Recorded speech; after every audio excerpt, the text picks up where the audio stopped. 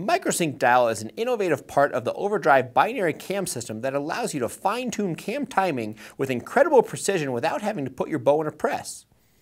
Every binary cam-equipped bow ensures that the cams are synced, meaning they take up and let out cable at the exact same rate. When your bow is out of time, you'll notice that the draw stops are not hitting the cables at the exact same moment.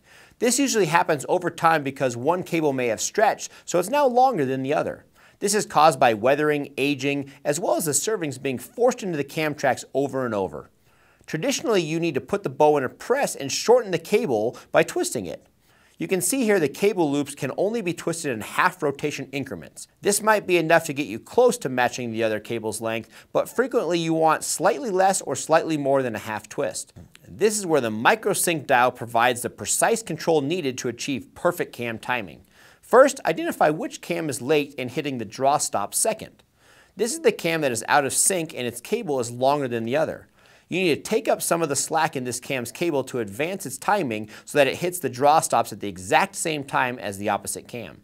Instead of putting this bow in a press, we're simply going to rotate the microsync dial using an Allen wrench. You can do this anywhere, including in the field. When you advance the microsync dial, you are actually shifting it into the pathway of the cable when it's drawn.